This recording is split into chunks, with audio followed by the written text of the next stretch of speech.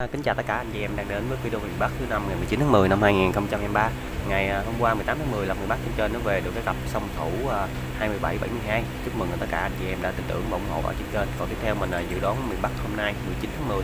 À, con bạch thủ mình dự đoán đó là cái con 16, còn song thủ mình dự đoán cái cặp 0550. À, anh chị em hãy tham khảo. Chúc cho anh chị em có nhiều may mắn trong ngày hôm nay.